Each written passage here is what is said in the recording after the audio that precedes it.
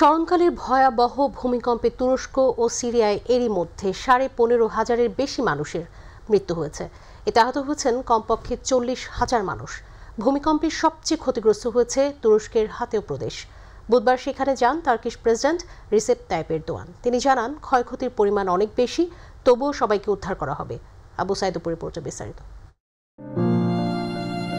তুরস্কে ভয়াবহ ভূমিকম্পে একের পর এক উদ্ধার হচ্ছে মরদেহ। এ যেন লাশের সংখ্যাহীন মিছিল। সময়ের সাথে বাড়ছে স্বজনদের আহাজারি। কান্নার ভারী উঠছে আশপাশের পরিবেশ। এই পরিস্থিতি যে কোনো পাষণ্ড হৃদয়ের মানুষকেও হার মানাবে। রাষ্ট্রীয় তরফ থেকে ইতোমধ্যে নানা পদক্ষেপ গ্রহণ করা হয়েছে। ভূমিকম্পে সবচেয়ে বেশি ক্ষতিগ্রস্ত হয়েছে তুরস্কের হাতেও প্রদেশ।